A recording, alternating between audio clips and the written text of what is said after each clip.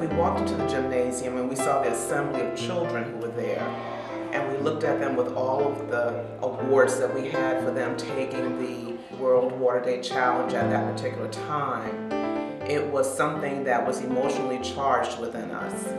The children gave us more than what we actually thought we were going to give to them. We saw them so enthusiastic, but yet they were so orderly about receiving the gifts that we were bringing to them. But they were very much aware that what they were doing was to help children, to help people everywhere.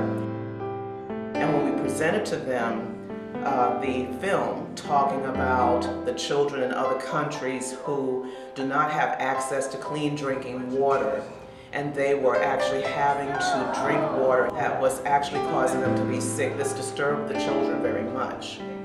So as the children looked at the film and as they were very conscious about what they were walking for, it really put us into the perspective that we need to do more as adults.